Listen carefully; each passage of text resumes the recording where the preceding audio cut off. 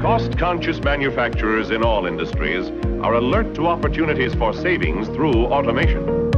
Back in the old days, manufacturing was these specific lines. Each machine had its own single task. And at the end of this line, you would have a product, a finished product. These large assembly lines, and you're condensing them into something the footprint of a car.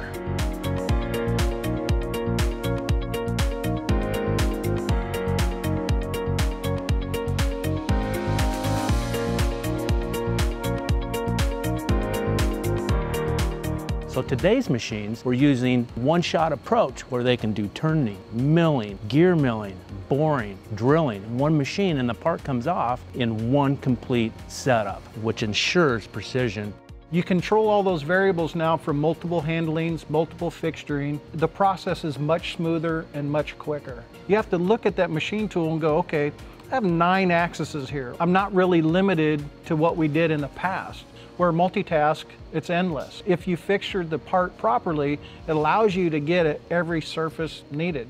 Truly seeing is believing. You can't argue with the data once you've seen it done and it's right there in front of you. Have an OMIC here in our backyard to actually show them this is what's possible. So the partnership with OMIC is invaluable.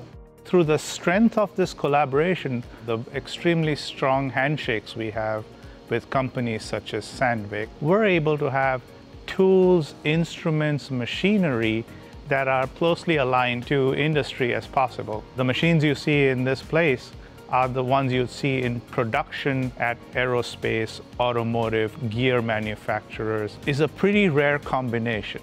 The cutting tool manufacturers and machine tool manufacturers have brought a lot of tech into this. Some of the latest software, some of the latest materials, and sensors. These machines can tell us when cutting tools are breaking, which cutting tools go with which jobs. It's horsepower, it's torque, it's vibration. You see it all laid out right in front of you. That's where I got started in this kind of modern age of integration.